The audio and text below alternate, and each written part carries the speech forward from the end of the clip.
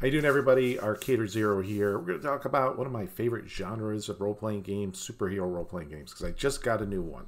So a little bit of background of me and superhero role-playing games is I started playing Villains Vigilantes back in the 80s, and that was the shit, man. That was the top-notch role-playing game back then.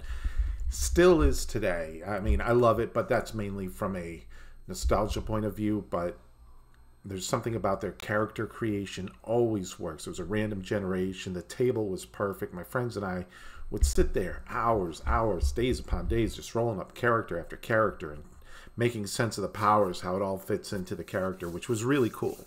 Um, so huge fan of V and V. That that's uh, that's our Bible. That's our uh, our big love. Still is to this day.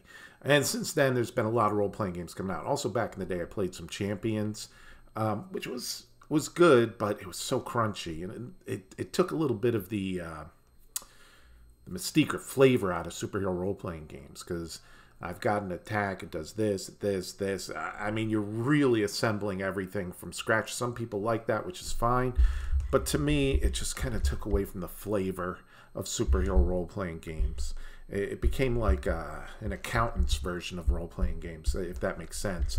Then i played dc heroes. I forgot to bring it up here. Dc heroes oh i was we were big on dc heroes too but that involved a lot of math. There was a lot of balance issues. The gadgetry rules were just kind of kind of wonky. Um, uh, but we enjoyed it. We you know we had a good time playing with it back in the 80s so let's take a look at some of the uh, superhero role playing games I do have. I do have DC Heroes. It's back there. I would have showed it to you right now. Of course, the first one, the Villains Vigilantes. Absolutely love it. This is one of the box sets. This is not my original box set. That got destroyed because it got used so much. I ended up buying a, another one. I think I'm on version number three right now.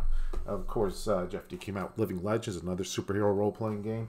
Um, the Authority. That's the uh, Tristat uh, Big eyes Small uh, Smallmouth uh, uh, rule set. Really cool. Uh, enjoyed this too. I made some pretty funky characters with this one. Um, let's see what else we got here. Mighty Protectors, uh, the new V&V 3.0. I'll be honest, I've never played it, but I have it. I love it. Um, they've introduced some things about uh, point buying and everything else. So kind of marrying some modern concepts in here. Still, uh, still a great book. V and V, love it. Um, Aberrant, uh, White Wolf system, superheroes. I enjoyed the White Wolf system for Vampire. This actually worked really well, very realistic, and the setting was great. My friends and I played a huge campaign on this. I think two campaigns, uh, which worked out pretty well. So that's really good. Let's see. AMP, AMP Year One funky rules and kind of guided power creation because it's set. Uh, the powers are set for this setting, specific setting. Like you can be like one of these type of uh, superheroes. Uh, very interesting. It went for really realistic inside the rules and the, the background, like a, a real like real world, like a Aberrant did. But it looks very anime. All the drawings are anime. I like the artwork, but it just doesn't really match the uh, what's inside. A little bit of disconnect there. Uh, Mutants and Masterminds. Here's one of my Mutants and Masterminds. Of course, they got a newer version of this out, but this one I liked better. Um, it had more flavor to the powers. When they moved up to the new one, it, it borrowed a lot more from Champions. Uh, this was originally based off uh, the D20 stuff like Dungeons and Dragons, and uh, the guy who wrote it is absolute freaking genius when it comes to superhero role playing games. Um, but I made a ton of heroes in this. I converted a lot of heroes. Um, a lot of math involved in this, not as much as Champions, but there's some math involved in this one. Um, but still very enjoyable and awesome artwork throughout, and great, um, great layouts and everything else. It's uh, it's a good superhero book. Um, icons another personal favorite, Icons. Uh, same guy who made Mutants and Masterminds. This is like the light version. Easy, so easy to pick up, make characters, sit down and enjoy a session. You can make anything you can think of. In fact, I wrote a source book with all 80s heroes like Knight Rider, uh, Manimal, um, all these different characters, all wrote, written up for Icons. Very cool. The artwork is very distinctive, very stylish, um, very like Bruce Timm like, uh, the guy who did uh, Batman. Um, pretty cool. Uh, let's see. Fate. Fate Core. They they do superheroes. This little superhero book, Venture City. Uh, great background book. Um, excellent. I think you can apply it to almost any superhero role playing game, but um, very cool. Worth checking out. Um, anybody remember this one? Okay, this is with the cards, the Saga system, doing Marvel. This actually worked really, really well. Actually, really loved it. This is very cool. Uh, speaking of Marvel, here is yet another Marvel book. This is uh, Cortex. Um, this is fantastic. I friggin' love Cortex Prime. It's my favorite role playing system, in case you haven't seen any of my videos before. But Civil War, um, really good. What else can I say? Uh, Cortex Prime is up there, like top tier role playing game systems. Speaking of Cortex Prime, of course, we have Smallville. Very interesting take on uh, on the superhero genre. The the person who put this together and wrote this knew how stories are crafted and motivations and everything else, and you work off more motivations than your statistics like might or uh, brawn or strength or agility or anything like that um, which is extremely interesting, different, and it worked very, very well. I love it. And plus, I was a fan of Smallville, so I ended up liking this. Of course, uh, there are other uh, Universal systems out there, Cypher, they can do superheroes, but Cortex. Cortex Prime is my favorite. But today we are not talking about any of these. I'm going to be talking about this one I got in today. Prowlers and Paragons. All right, first of all, check out the, the art, the cover isn't that awesome? You know, it extends all the way around. I got I, I sprung for the uh, the premium book, which I'm glad I did because um, it's it's really good, great quality. It'd be a little bit better quality if the pages like glossy pages like Mutants and Masterminds, but it's not. But it's still fine because it's still awesome. Um, you know, because it's all full color inside. Know, so Prowlers and Paragons is very very interesting. Um, I was hesitant, but I kept seeing people posting about this. Oh, when is this coming out? When is and I'm like, I have no idea what this book's about or the system or anything about it. All I knew it was a superhero role playing game, so it kind of got a little uh, bonus there, but um, knew nothing about it. So uh, I finally said, you know what? I'm going to go ahead, spring for it, see what it's all about. I sprung for the uh, for the top tier, which I'm glad because I absolutely love it. Um, it's a really, really good role playing system. Um, after going through the rules. I haven't actually played it yet because I got it today, but uh, next time I run a Supers campaign, it's going to be in this. Um, a little bit about this. This fits somewhere like below as far as rules wise, not, you know, comparison, but it's somewhere between Cortex, very cinematic system, and Mutants and Masterminds it's in between there as far as complexity versus cinematic. I like cinematic uh, role playing. Um, I like when you can explain what your characters are doing and flourish, and uh, everything has kind of a uh, uh, a very feel to whatever genre you're going for, which Cortex Prime does better than anybody else. Uh, Mutants and Masterminds has some crunch, so this has a little bit of crunch and a mixture of cinematic and it blended just perfectly like a right balance if you're looking for that balance. This has it. Um, inside of course you got tons. There's the uh there's a picture i really liked hold on it's coming up here i know i know it's i know it's close to the beginning of this chapter yeah I like that. I know it's kind of like an Iron Man ripoff, but I still think it looks friggin' cool. That is a great picture. But it, it's chock full of great art. Even the uh, characters in the back, um, they all have like different styles. I could tell like some was more 90s, you know, lots of uh, pouches and stuff like that. And others were kind of like 80s and, you know, going through the uh, uh, going through the years. But all great write-ups. Um, interesting system. Uh, let's talk about the system itself is uh, it only uses D6s, okay, which was kind of a little bit of a turnoff for me, but it works for them. Um, I ended up being turned off, uh, initially turned off by like uh, Fate Core because it only used D6s, but then I ended up loving it. Um, so basically, what you do is you gather up some dice, you roll them, and you count the evens as as success, uh, but sixes count count more. Um, I think it's like double. It's like two successes if you roll a six. Um, and then you compare it against a target number or uh, whatever you're fighting against. So, like a comparison. So, system wise, very easy to pick up, um, which is, I think, a, a, a bonus when you're trying to get new people into a role playing game. Sitting down and doing, making a champion's character uh, from scratch with someone who's never played role playing games or has never played champions, it can be difficult. Even DC Heroes was that way. Um, I remember the first campaign I went into, I already had the books, I already had my character created, and uh, my friend helped me uh, put my, my character together because he knew the rules a little bit better. It's like, oh, if you have this, this, and this. So he was like an auditor, you know, like like you, you have your, your tax account ought to say, oh, you know, you could write this off, write this off, write this off. And you're like, all of a sudden you got more money at the end of the year. But uh, that was the way with Heroes. With this, it, it's a lot easier. I mean, you do have points to spend, okay? But they lay it out very clearly. If you want to do a street level, level like Daredevil type campaigns, or you want to do like Justice League or Avengers type campaigns, here's here's your point level for that. Um, and those are the type of characters that you get to make, which is which is pretty cool.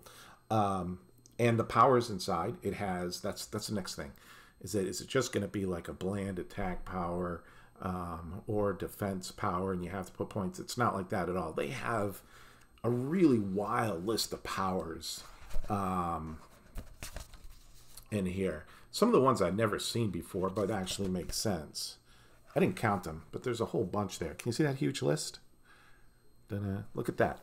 Um, there's a ton in there uh, like stargates of power. Instead of just using oh teleport with this this this they put it in there which i'm really really happy about. Um, what was some of the other ones? Uh,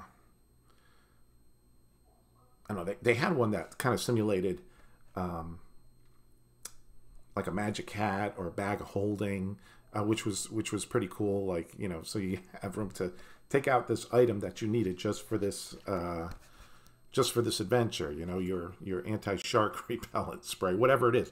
But they've got they've got kind of rules for that. Uh, the levels make sense; they're very clear. You know, speed is laid out very clear. You know, if if you've got 12D, so 12 dice, and uh, like super speed, you can run 10,000 miles per hour. That's what I like. Um, it's laid out extremely clear, and the power gives you, you know, everything you can do with super speed, like inside super speed you can knock out x amount of minions um, just by you know utilizing your power. And the way to classify like regular street people minions foes villains uh, is a tier level kind of like in the star wars role-playing game in Genesys which i enjoy.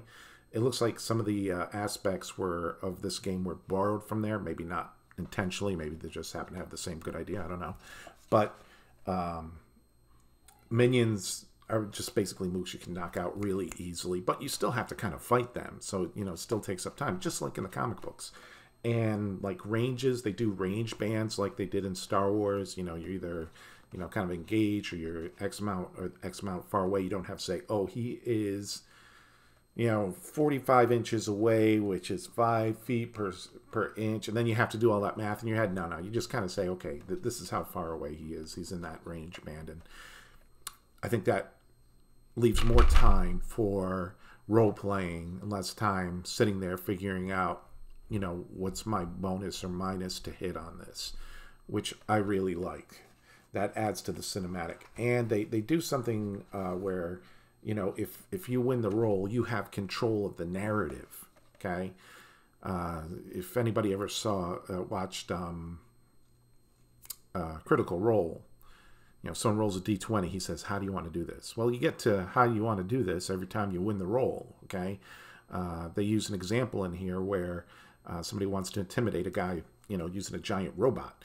And um, so he makes the attack and he successfully intimidates him. So he describes, I burn a hole with my energy beam through the canopy, which freaks him out. Like all of a sudden, I'm, I'm exposed, you know? I better get the heck out of here. So it gives, um, which is very comic booky, which I like. It, it gives a lot of options for that. Um, they have. It's interesting how they handle wealth. I'm not sure how that play out. You just buy like, I want to be the wealthiest guy on the planet. Okay, you can buy that. Then all of a sudden, money's not an issue to me because if I was ever Batman and like these criminals are trying to steal money, So why don't I just give them money and then nobody gets hurt, you know? I know that would be kind of immoral or whatever, made for a lame comic book, but they're stealing money probably because they're poor, you know? I don't know. Or maybe they're just evil. Uh, but, um, you know, that's kind of like their motivation for a lot of villains is money, wealth. And it's like, well, here you go. Um, but I always find that very interesting. That's why I was like Lex Luthor. Lex Luthor had money, you know, but he wanted more. You know, he had all the money he wanted. Except in the movies where he just wanted real estate. He was like an evil real estate agent, which is kind of strange, but I still enjoy those old movies. Combat very easy to uh, um, to resolve, as far as I can tell from from reading it. Um, they have uh, obviously big section on equipment, um, vehicles, uh, everything that you can do uh, inside a comic book. They give you benchmarks in here. There's benchmarks for like, um, you know, how much stuff weighs. Like a jumbo jet weighs 100 tons to 500 tons, um, which I think is very, uh, I think is necessary. Um, it, it, scales very well. They've got a few things in here that you see in other role playing games. Um, I think it's they call it Edge, if I'm not mistaken. Um, it's kind of like hero points or plot points, like from uh, Cypher. And depending on how powerful your character is, okay, if you're like really powerful, then you're not going to get very many uh, edge points to start out with. If you're less powerful, if you're playing in that campaign with everybody, but your character is not as powerful, you're going to get more to start off with. So that kind of makes a balance of why Superman can fight alongside Batman. Su Superman probably has no edge points, but Batman's probably got a ton, so he's getting shit done. So very clever. I've seen it done in other uh, role playing games, just not as well as done in Prowlers and Paragons. Um, yeah, it says welcome back, and apparently I missed the first time around. Um, but this is a, a, a, decent book. I recommend getting it if you're a fan of superhero games or if you want to run a superhero game. Um, it's more involved than Icons um, less math than Mutants and Masterminds, um, a little bit less cinematic than Cortex Prime, but um, it's got that cinematic option in there, done very well. Um, so when someone was telling me that this is, it's got a mix of both. I was like, all right, I got to check it out. I want to see how they balance that. And quite honestly, I didn't think they'd be able to do it, but uh, reading through the book today, they are able to do it. So they've got excellent uh, examples of characters and villains, all with great artwork. I'm glad they didn't. They invested in the art because the art is fantastic. Um, I mean, look at that guy. He's pure out of the 90s. Can you see that? Look at that. So here's some of the uh, it's edge. That's what I was thinking of. I think I got that right. But you have your abilities, agility, intellect, might, perception, toughness, willpower, your talents, which is your skills, um, academics, charm, command, covert, investigation, medicine, professional science, streetwise survival, technology, vehicles. No reason why you can't add your own skill sets in there to fit your uh, um, your game. So if you want to do a supers game in like medieval times or in uh, Victorian times, I mean, everything can be adapted easily. Your powers, your perks, uh, which were you'd have like your contacts or your wealth, um, your flaws, and gear. They, they handle gear a little bit different. Like mundane gear, you say, okay, you can have it. Okay, it's not like you have to build your mundane. I, I got to build my uh, my communicator. I remember in DC Heroes, like building a walkie-talkie. it took an insane amount of points or something like that. Uh, but you don't really have to worry about that. It says like all that stuff that you, you shouldn't worry about. So really good balance. So this is uh, uh, Prowlers and Paragons. You can buy it on like DriveThruRPG. Um, I recommend getting the uh, high quality one because um, I, I don't know how they uh, how the lesser quality ones turn out, but this one is, is fantastic. The uh, the layout of it is great. It's a lot like the layout's a lot like Mutants and Masterminds. In fact, if, if I hadn't known about this, someone just showed me the book really quick, and I was looking at like this page, I'd say, "Oh, I'm looking at a Mutants and Masterminds books." But now, that's not a bad thing. uh, because that's like one of the best laid out books out there. Um, so check it out. Prowlers and Paragons. I recommend it. It's good. I like it. What do you guys think? Uh, thanks for watching my video. Like and subscribe, all that kind of stuff. Press all the buttons you see below. Um, sometimes I post stuff, sometimes I don't. Uh, hope everybody is well and stay safe. Bye, everybody.